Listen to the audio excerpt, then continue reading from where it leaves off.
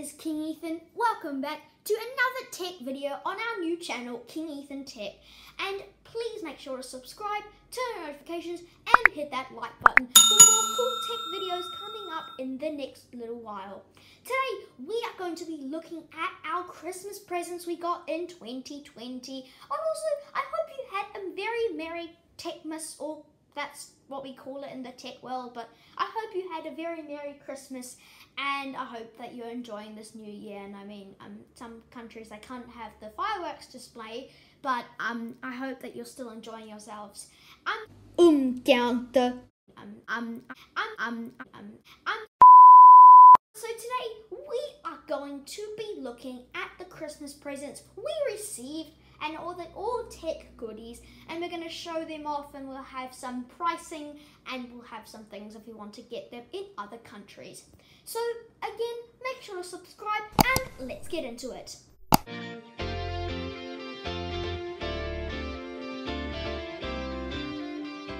The first gift we received is the Dell keyboard and mouse. The specific model number is the KM636.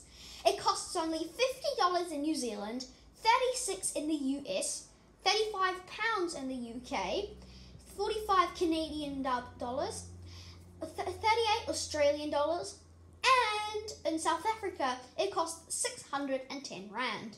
This big side's a full-size keyboard and it has a really nice numeric keypad. It's wireless and it uses a USB adapter and you just plug that into your computer. The power AA battery for the mouse and AA batteries for the keyboard.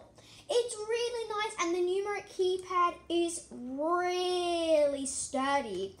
Uh, and the, all the function keys are there. Everything is there. It's really durable. It feels really nice to type on and it is really nice.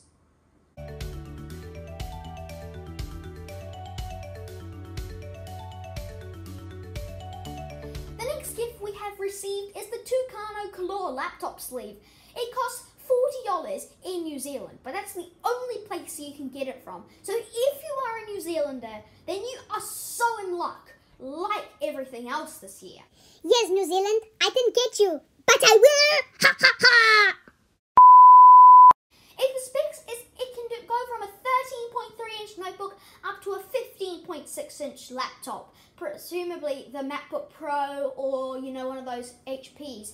It's a seal zipper, that's how it works, and you just unzip it from the sides, and it's, you know, it's so durable, and it feels so nice to the touch, and it is like really soft, and it'll protect you more if it's in a laptop bag, but it's pretty nice, and I mean, for the price tag in New Zealand, it's pretty good value for money.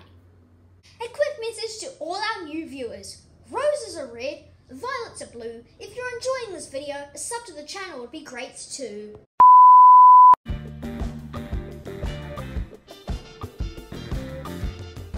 next gift we received is a Kingston micro SD card. It costs only 25 US dollars. So in New Zealand it costs $40, in the UK it costs 12 pounds, in Canada it costs $50, in Australia it costs $30, and in South Africa it costs 670 rand.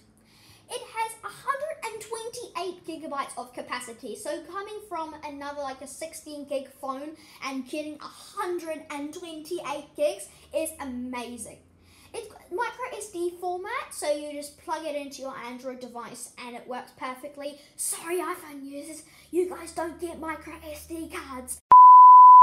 And it's got an adapter, so it's pretty nice if you want to like start like transferring photos from your phone. You just plug in the adapter, put it into your laptop, and boom, you got a nice storage device.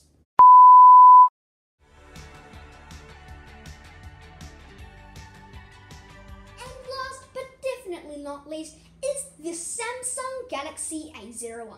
It's Samsung's cheapest offering at the moment, um, but it's not like the budget phones that don't perform and have the stupid Android Go whatevers. They work really well. It's got a really nice 6.5 inch display.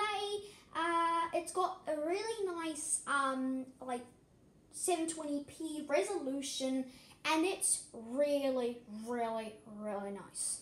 It's got 16 gigabytes of storage, but obviously we expanded that with the Kingston micro SD card. It's really good. We have 2 gigabytes of memory and we have the Snapdragon 439 chipset. It's not that, that high up, but it's definitely better than the budget Nokia phones with Snapdragon 135s.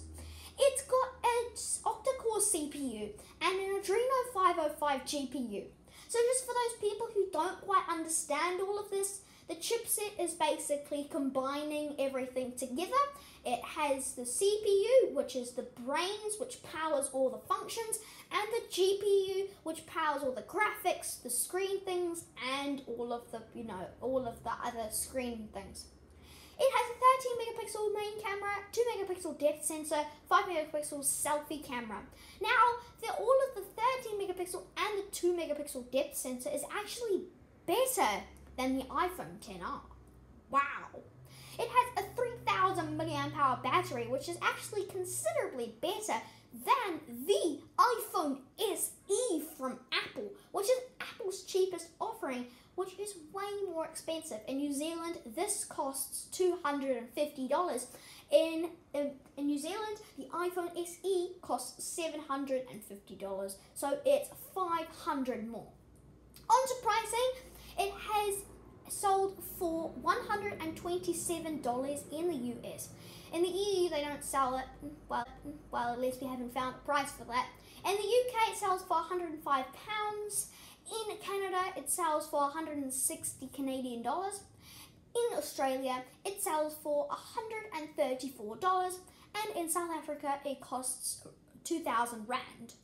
And in the connections, it has dual SIM, uh, not, not, not the eSIM, not the eSIM, it's got proper SIM, and it's got micro USB charging and data transfer. So, I mean, for the price range, I think it's fine. Let me know in the comments what you think. Um, but I think that this phone is pretty nice, and I mean, yeah, I mean, if you're wanting a budget phone and but you want a decent phone, go for the A01. It's perfect. And that's all of our Techmas gifts. I hope you had a wonderful Techmas again, and thank you for watching the video. If you did enjoy it, please make sure to subscribe, like, and turn on post notifications. And we'll be doing more tech videos coming up in the next few months. So stay tuned. We'll be doing lots of unboxings and lots of showcasing and lots of reviews. So please make sure to subscribe and we'll see you in the next video. Bye! And again, thank you so much for enjoying the video. If you... Oh, what the... no. Seriously, what is wrong with... What is wrong with me today? Oh my god.